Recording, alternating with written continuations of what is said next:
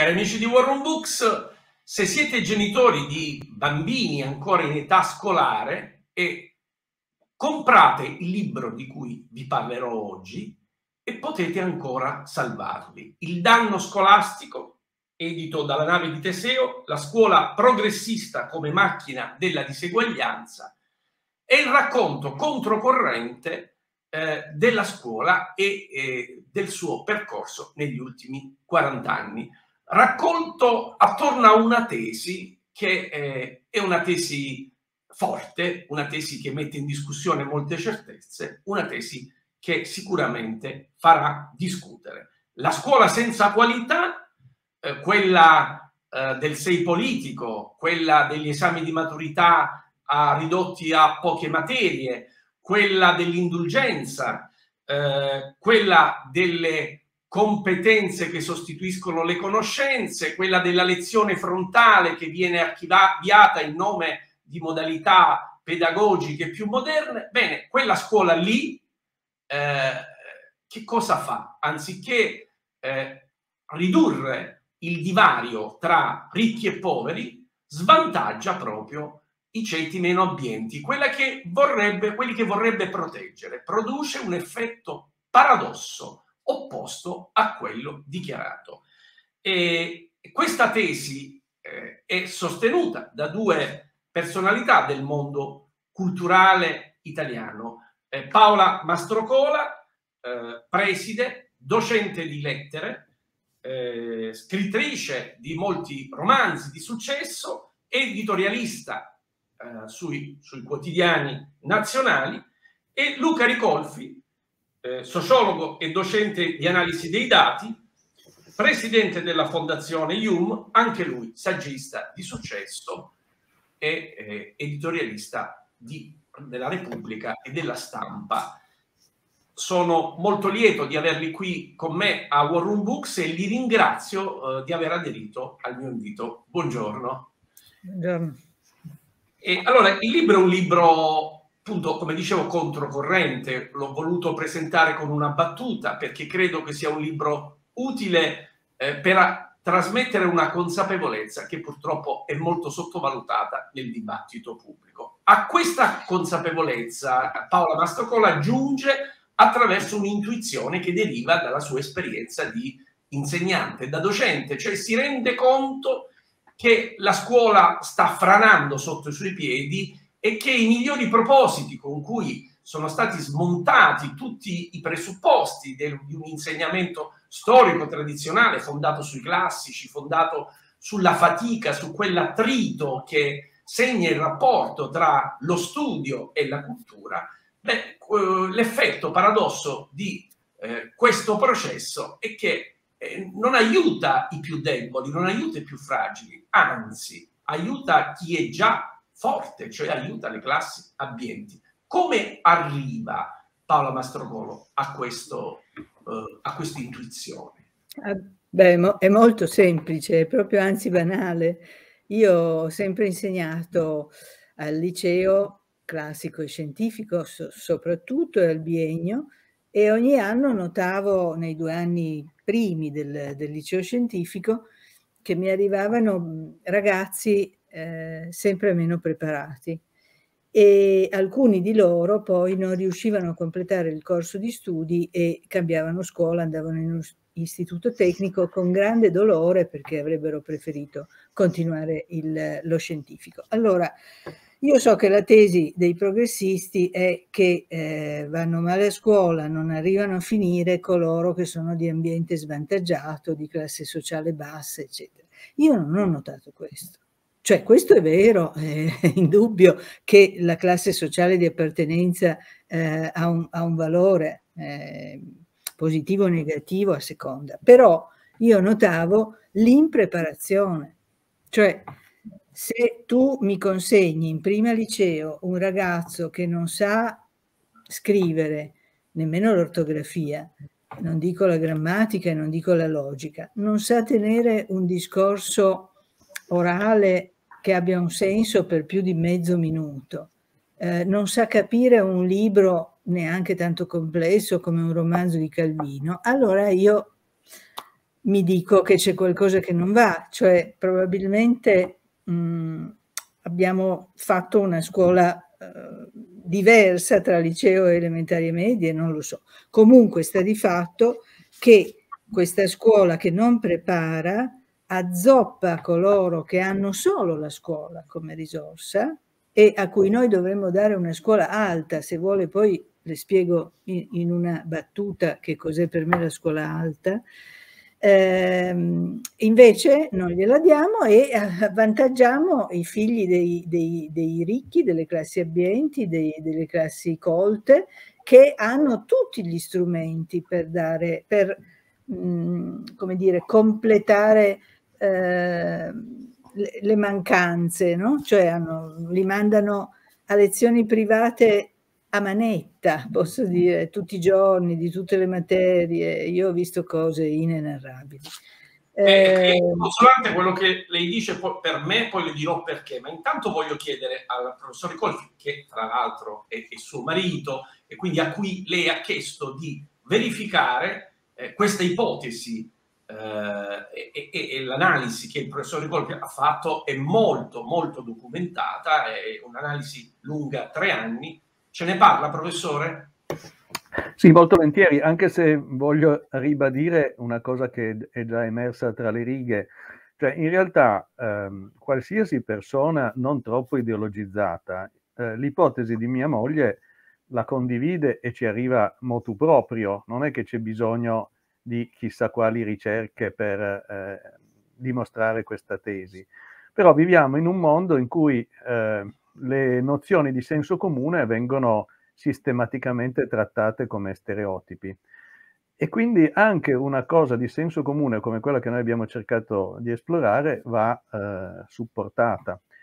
E quindi noi ci siamo messi all'opera come Fondazione IUM eh, per mh, provare se i dati supportavano oppure no l'ipotesi di, di Paola, di mia moglie. Ora, eh, questo lavoro è stato abbastanza complicato perché abbiamo dovuto costruire un modello matematico-statistico, e, ehm, però il risultato è stato molto, molto netto, cioè in sostanza noi abbiamo ehm, misurato due effetti della scuola differenti. Uno che abbiamo chiamato effetto meritocrazia, cioè il fatto che se tu vai in una buona scuola eh, ottieni dei risultati in termini di ascesa sociale migliori di quelli che otterresti se andassi in una scuola cattiva. Altra cosa che è abbastanza ehm, ovvia di buonsenso e confer- confermata dai dati. Ma poi c'è un secondo effetto, che invece è lo specifico di questa ricerca, che abbiamo chiamato effetto emancipazione. Cioè l'andare in una buona scuola rende la carriera eh, sociale del ragazzo meno dipendente, meno condizionata dall'origine sociale e quindi ha un effetto eh, emancipativo. Questo effetto è tanto più intenso quanto più la scuola è alta. Quindi scu- una buona scuola, una scuola di livello alto, è un formidabile strumento di emancipazione, di liberazione delle, delle classi subordinate. Questo è il, il risultato tecnico, risultato che però diventa comprensibile, eh, più comprensibile secondo me attraverso il racconto delle nostre esperienze, perché il libro è costruito in due modi, un po' anche un'architettura un po' curiosa, perché c'è l'ipotesi di Paola, poi c'è la mia esperienza, che è esperienza di professore universitario che per 30 anni ha insegnato eh, in facoltà diverse, economia e commercio, scienze sociali e psicologia. E, io quindi racconto quel che ho visto in questi, in questi 30 anni e quel che ho visto ha una spiegazione in quello che ha visto Paola, perché lei ha insegnato eh, qualche anno prima a, a ragazzi eh, che si situano qualche anno prima dell'ingresso all'università e quindi è stata in grado di ehm, fare una sorta di, di radiografia, di TAC, eh, delle condizioni mentali degli studenti che poi io mi ritrovo eh, qualche anno dopo eh, all'università. Questa è un po' la, la, struttura del libro. C'è un elemento chiave nel, nel, in questo divario che è incolmabile che la scuola produce e, e la professoressa Mastrocolla lo chiama periodo critico, cioè eh, c'è una fase in cui le cose si imparano e dopo non si può recuperare ciò che non si è imparato. Devo dire che leggendolo, eh, questo libro, eh, mi ha molto confortato perché eh, voglio portare una memoria personale. Io ho sempre pensato a quello che dice la professoressa Mastrocola ed essendo figlio di insegnanti, eh, in particolare mia madre, professoressa di lettere, ha formato moltissimo la mia, la mia storia professionale, la mia storia culturale. Io ho sempre purtroppo per loro somministrato ai miei figli dei grandissimi dettati nella, nell'infanzia, nei, nei, nei, addirittura prima di andare a scuola. Eh, e no, nelle nostre vacanze facevamo i quiz di analisi logica, no? eh, cose che eh, ovviamente uno le fa, però poi in un clima collettivo molto diverso si sente quasi in colpa di averle fatte. E una volta ricordo che un bambino rimasto a dormire a casa da noi eh, si svegliò la mattina e, insieme ai miei figli per portarlo a scuola. Io dissi: Ma adesso facciamo questo piccolo dettato. Lui tornò a casa da papà e disse: Io non vado più papà a casa di Riccardo perché mi fanno fare i dettati. E la cosa fece un po' sorridere con i genitori. Bene, eh, eh, quello che scrive Paola Mastrocola mi conforta e non mi fa sentire un marziano. Perché? Perché con la metafora dei gattini ciechi, Paola Mastrocola racconta che c'è un periodo critico e se in quel periodo in critico tu non impari le cose che devi imparare, poi succede che, eh, che l'insegnante Paola Mastrocola incontra i genitori di ragazzi che non ce la fanno e deve dire questo ragazzo non ha le basi. Una frustrazione per l'insegnante e per le famiglie. È così? Sì, guardi, io mi sono fatta l'idea che eh, il punto fondamentale del, dell'istruzione di un ragazzo siano i primi anni delle elementari eh, e poi anche le medie. I primi otto anni sono determinanti. Io racconto la mia vita nel libro eh, per dare una testimonianza autobiografica per quanto vale, perché è solo la mia vita, però secondo me è indicativo eh, io ho fatto una scuola elementare media negli anni 60, ehm, e, che è stato il pilastro poi di tutto quello che io sono. Allora, co- co- cos'è mancato eh, o cosa manca oggi? Eh, per cui io in prima liceo devo fare i dettati di ortografia. E sa cosa succede? Che non riesco più a mettere a posto le cose, ci metto un anno, alcuni recuperano, cioè imparano che un po' si scrive con l'apostrofo e non con l'accento, però vede, sa qual è la, la cosa drammatica? È che io in prima liceo scientifico dovrei fare letteratura, dovrei parlare di Dante, Petrarca, Leopardi, eh, Pascoli, cioè, eh, e lo facevo anni fa, negli ultimi 15-20 anni c'è stato un degrado pro- progressivo per cui io se, faccio, se, facevo in seconda un sonetto di Petrarca, beh, dovevo metterci, non so, un mese per, per, per stare sulle parole. E, e, ed è questo che volevo dire io per scuola alta, quella che avremmo dovuto dare a tutti e soprattutto ai ceti bassi. Le faccio un esempio, l'Iliade.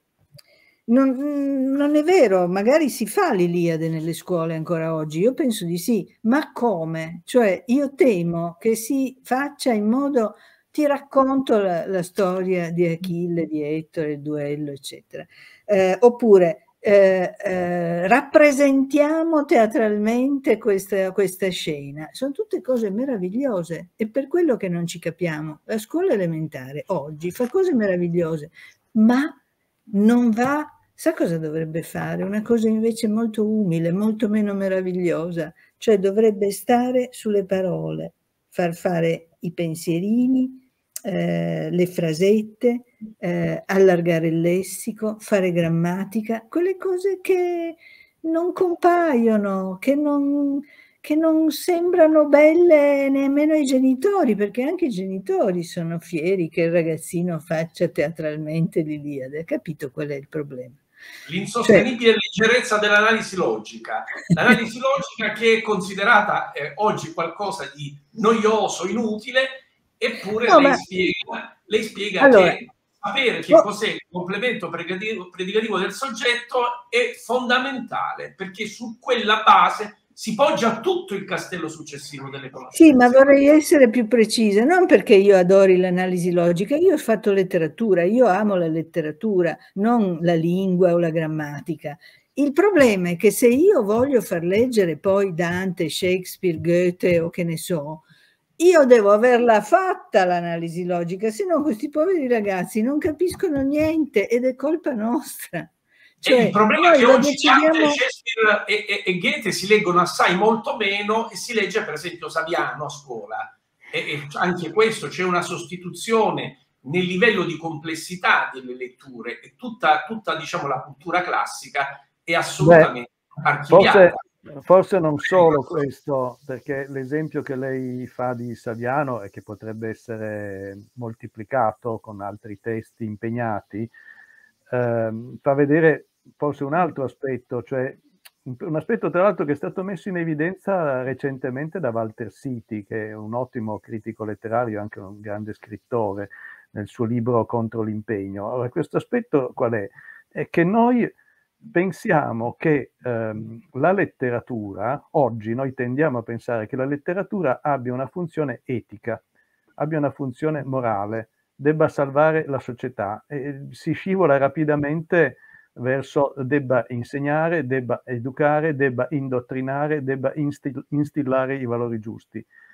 Eh, questo è una diminuzio della letteratura. La letteratura eh, storicamente ha anche fatto questo qualche volta, ma non era il punto centrale eh, della, della, letteratura. Per cui il fatto che si legga Saviano e non si legga Dante non è solo un fatto di difficoltà, è un fatto di politicizzazione dell'insegnamento della letteratura, politicizzazione che era sostanzialmente assente quando noi eravamo ragazzi, quando andavamo a scuola noi. Potevi avere, se eh, hai l'età mia, l'insegnante invasato che eh, non fa eh, il programma e fa politica, ma la letteratura era ancora Dante, Petrarca, Boccaccio, eccetera.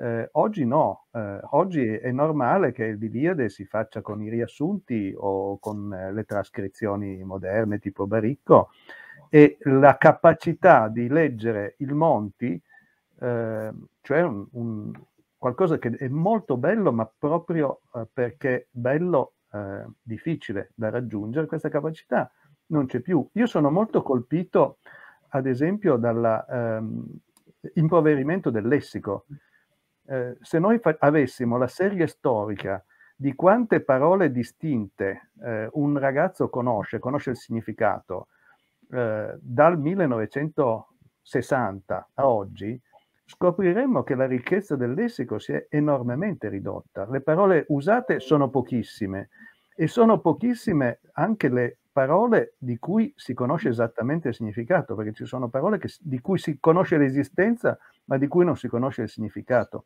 Professore voglio chiedere un'altra cosa. Eh, la, la, politicizzazione della letteratura. Lei eh, nel libro dice che eh, ovviamente questa è una responsabilità anzitutto della sinistra, ma anche la destra ha concorso, sia pure omissivamente, a produrre questo risultato, cioè ha rinunciato a, a costruire e a difendere un patrimonio eh, eh culturale e di trasmissione del sapere. È così?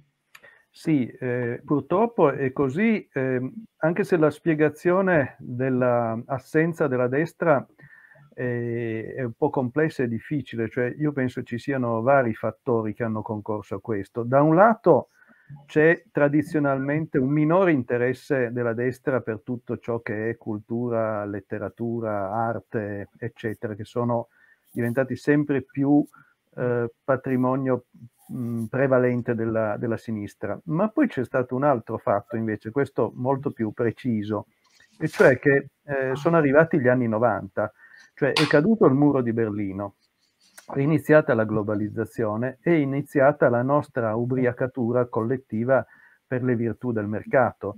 Cioè negli anni 90, nei primi anni, nel primo decennio di, del, del 2000 di questo secolo, eh, i riformisti di sinistra, fautori della terza via, e i liberisti di destra che si ispiravano a Reagan e Thatcher, si sono trovati sostanzialmente concordi nel lodare le virtù del mercato e nel ripensare l'istituzione scolastica come un'azienda, come un'impresa, come un'eroga- un'erogatrice di servizi eh, a degli utenti.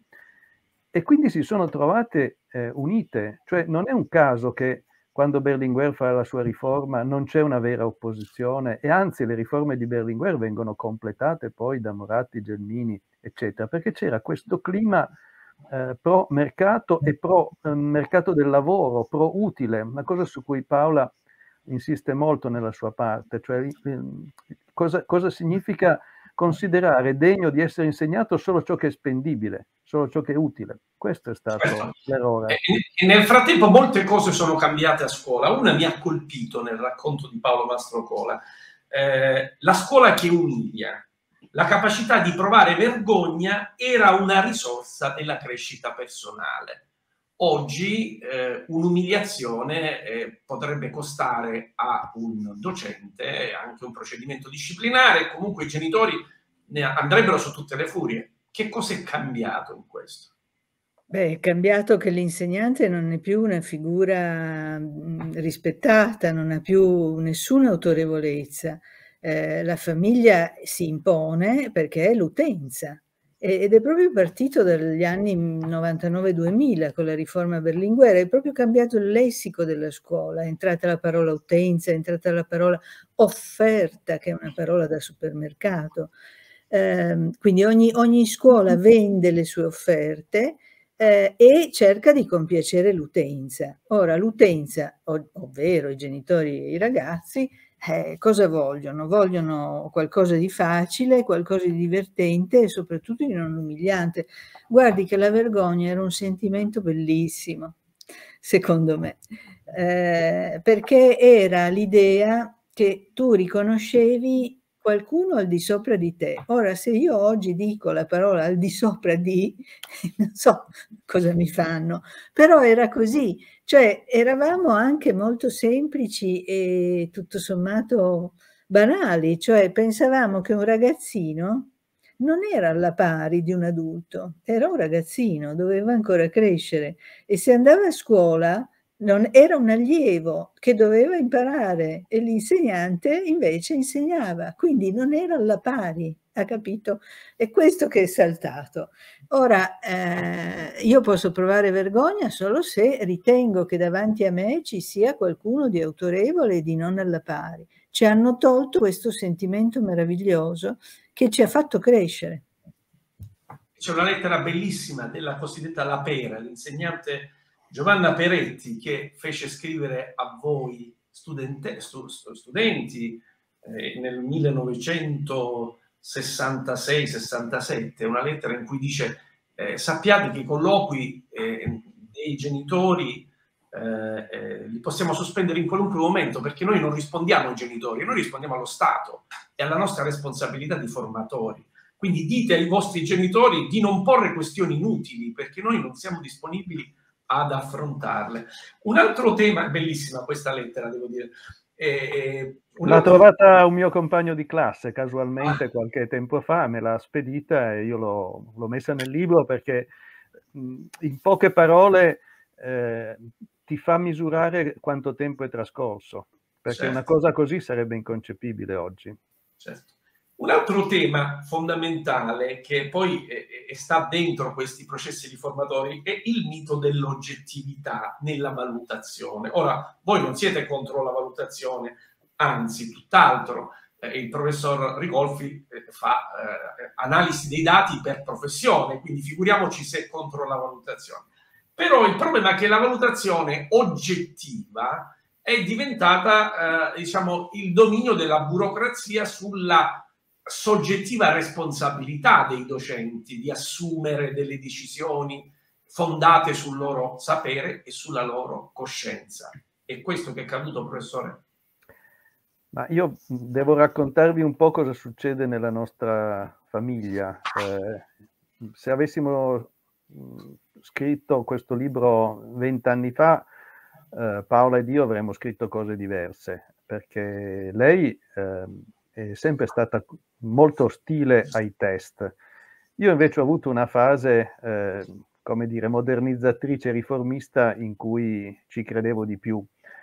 Eh, col tempo ho capito che aveva assolutamente ragione mia moglie, cioè i difetti eh, dei test a crocette sono molto più grandi eh, dei pregi, eh, anche se io non li trovo del tutto inutili.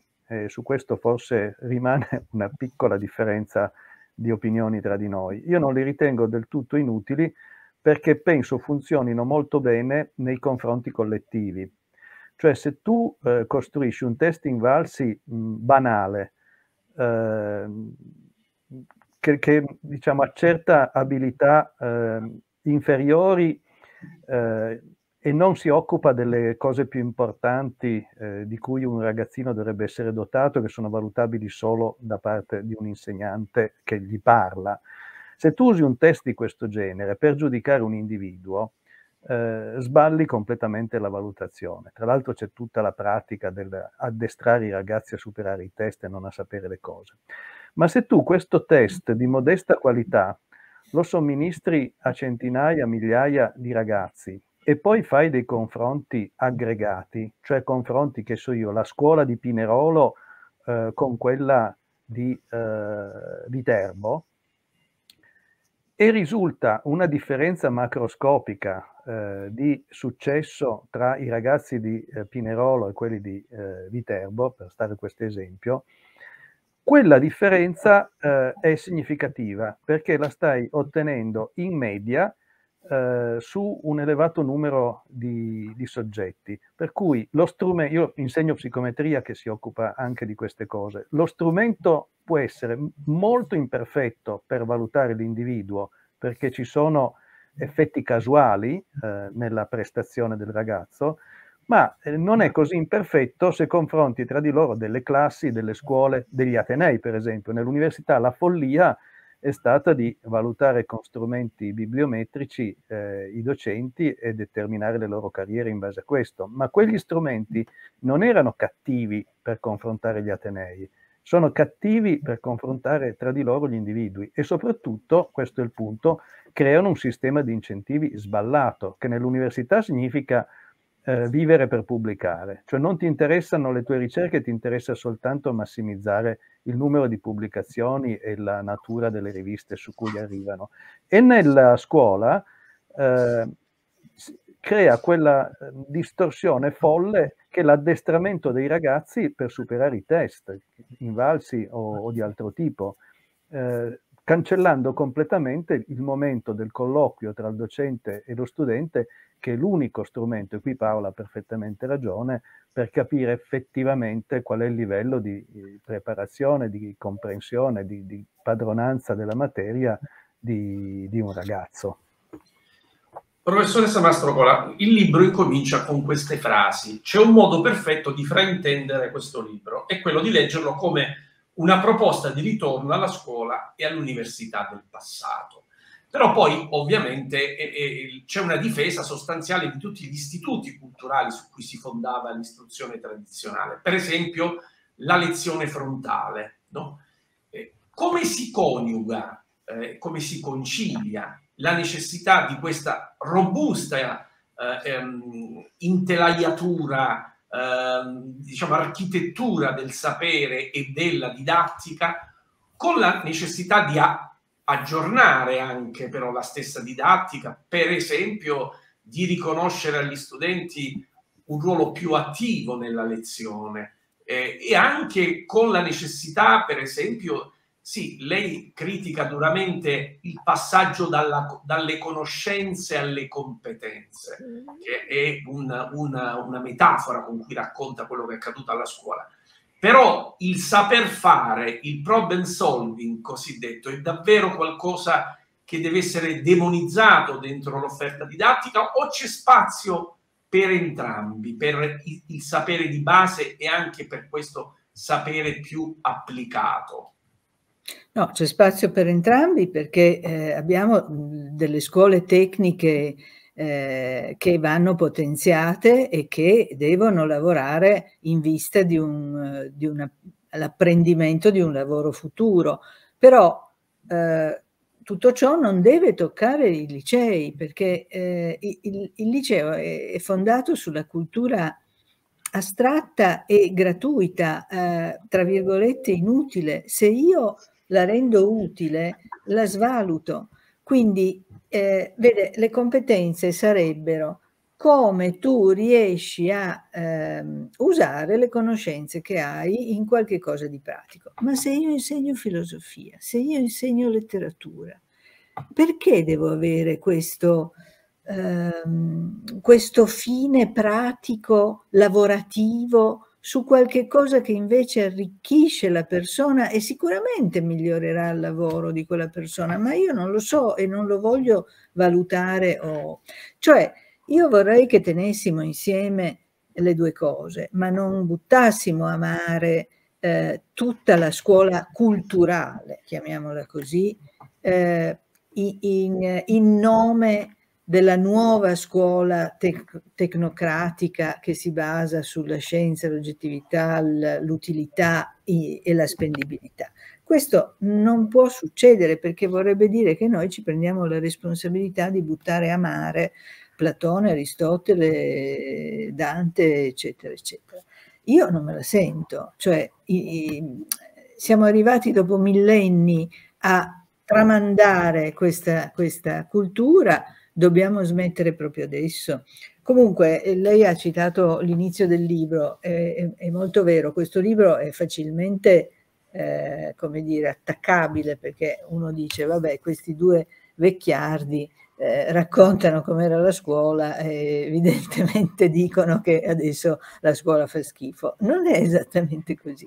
Noi abbiamo voluto, proprio perché vecchi, abbiamo voluto dare una testimonianza. Si dà, no? In genere la testimonianza è molto accettata in termini storici, eccetera. Non vedo perché non darla come, come scolari, no?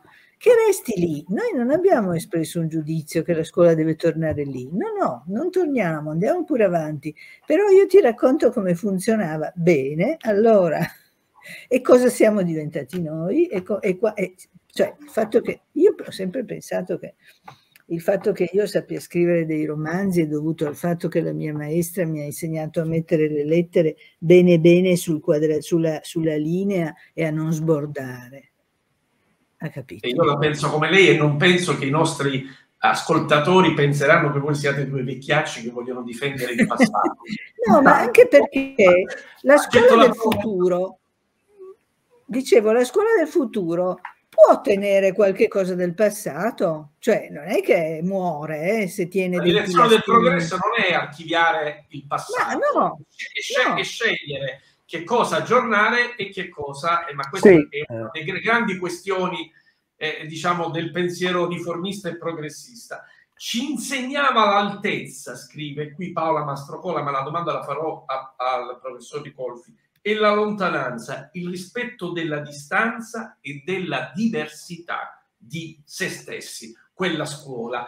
E lei ha scritto di recente un articolo sulla Repubblica, che è il suo primo articolo sulla Repubblica, che ha suscitato anche una grandissime reazioni all'interno del mondo della sinistra eh, vicina al, al quotidiano eh, di Maurizio Molinari. E, ehm, c'è una tendenza alla cancellazione delle differenze c'è una mitologia dell'uguaglianza che riguarda lo spazio e il tempo, che vuole azzerare le differenze della storia, le differenze dei sessi, le differenze eh, culturali di ogni natura. È una ideologia del presente, professor Ricolfi?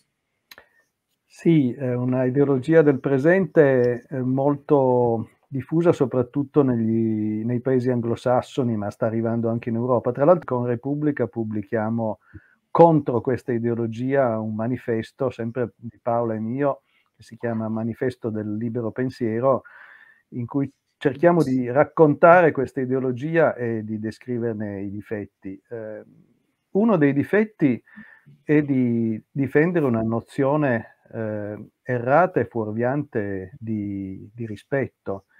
Eh, il rispetto sostanziale che eh, passa attraverso la capacità di mettersi dal punto di vista dell'altro, eh, viene trasformato in qualcosa che non ha nulla a che fare, cioè nel, col rispetto vero, cioè nell'uso eh, di parole che altri ci dicono eh, dobbiamo usare e che la gente non ha eh, alcuna voglia, capacità, intenzione o sensibilità per usare perché sono calate artificiosamente dall'alto. E poi c'è soprattutto l'incapacità di, eh, di percorrere la distanza con le altre culture. È abbastanza paradossale che nel momento in cui veniamo invitati giustamente a capire gli immigrati, a capire le loro culture di provenienza, a considerare una ricchezza il fatto che eh, si incontrino persone con un background differente. In questo momento però noi non siamo capaci di tollerare un verso di Dante o un mito greco perché a qualcuno particolarmente stupido quel mito greco o quel passo di Dante fanno venire in mente lo schiavismo, lo stupro, eh, cose eh, orribili che sono successe, ma che non siamo capaci di contestualizzare. Quando Giove eh, si innamora di una ninfa e la possiede, quello è un mito, non è eh, uno stupro che dobbiamo censurare perché la nostra sensibilità moderna non è in grado di nemmeno di eh, accettare il racconto di qualcosa che non solo è successo nel passato, ma nel caso di Giove non è nemmeno successo. Allora, eh, questo significa che noi abbiamo, stiamo allevando una generazione di ragazzi che non sono capaci di sostenere eh, la fatica del dissenso e dell'espressione di opinioni diverse dalle proprie. Cioè la, la domanda che c'è in America e comincia ad arrivare anche in Italia di spazi protetti è una autodichiarazione di eh, incapacità di tollerare il diverso, in un mondo in cui ci dicono che il diverso va rispettato. Cioè, eh, questa cultura... E questa è la grande contraddizione del presente, esatto. abbiamo rinunciato a considerare diciamo, eh, che cos'è il, anche il, il potere, come, come, gestirlo, come dividerlo, come fronteggiarlo e che cos'è la difficoltà della vita, perché abbiamo rinunciato a quell'attrito che eh, eh, si determina quando lo studente nei primi anni si trova eh, a fronteggiare testi di complessità e cresce dentro quell'attrito, altrimenti si produce, abbassando l'asticella, scrive Paola Mastrocola, il fallimento finale di, di tanti e innanzitutto di quanti hanno meno risorse.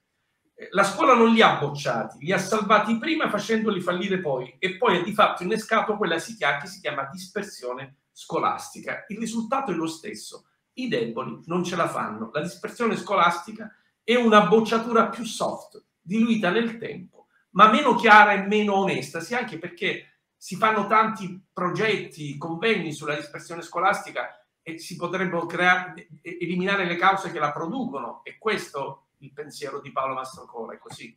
Sì, guardi, io sulla dispersione scolastica veramente do i numeri perché eh, la dispersione scolastica intanto l'abbiamo voluta noi, eh, con, dando una preparazione scarsa ai ragazzi. Cioè è ovvio che poi non ce la fanno e si disperdono e vanno altrove. Non è solo un fatto sociale, smettiamola di collegare eh, l'abbandono scolastico solo con le origini sociali. Ci sono, va bene, d'accordo, ma la parte nostra è la preparazione, dare una preparazione enorme, altissima a questi ragazzi, in modo che possano farcela fino alla fine, perché se no siamo noi che li disperdiamo. E questo è, non so, um, è un concetto che non, non, so, mi piacerebbe che qualcuno me lo spiegasse perché invece non è così. Eh, mi piacerebbe che, che, ci fosse uno scontro, che finalmente i progressisti anche dicessero una volta, una volta su una cosa abbiamo sbagliato.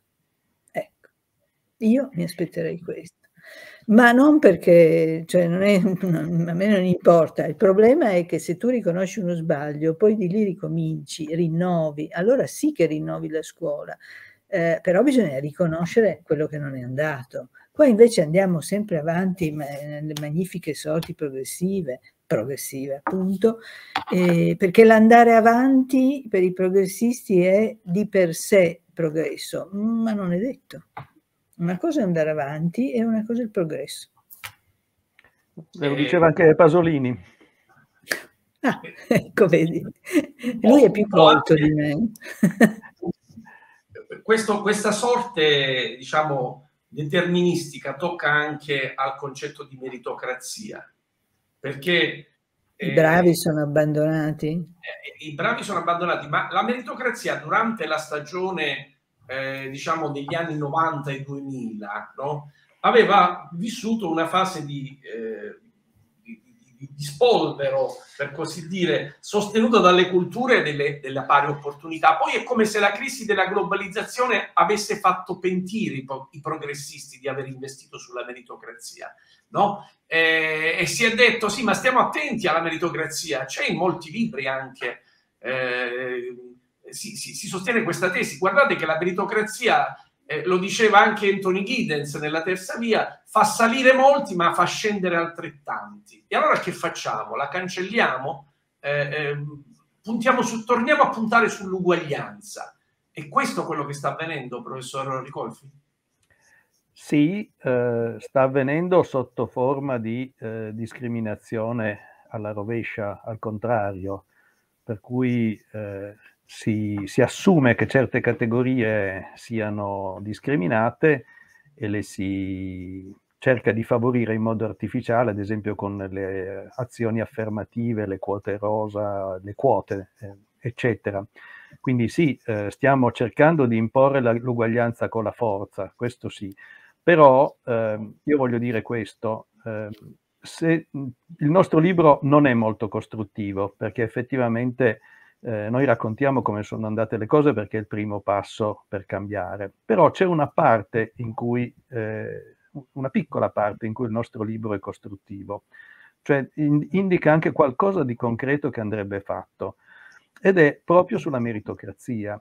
Cioè noi eh, distinguiamo tra la meritocrazia come esaltazione del libero mercato che permetterebbe eh, da sé di colmare le diseguaglianze di opportunità e la meritocrazia come politica dall'alto, politica sociale, che mette tutti in condizione di eh, completare il ciclo di studi se eh, se ne hanno le, le, capacità, indipendentemente dai mezzi, che poi è l'articolo 34 della Costituzione. Cioè noi facciamo due eh, esempi. Primo, i premi che sono stati praticamente cancellati, ma negli anni 60 era normale che le fondazioni bancarie, per esempio, istituissero dei premi per il migliore di una scuola, per il migliore di un istituto, eh, per ehm, riconoscerne eh, il valore. Erano premi in denaro. Eh, credo che Paola ne abbia anche eh, vinto uno, non so se nelle, nelle Sì, medie. seconda media, ho vinto il premio della Cassa di risparmio